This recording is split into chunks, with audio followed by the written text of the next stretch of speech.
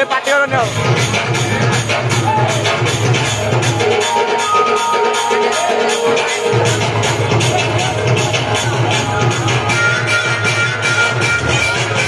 Tira a pau de Deus,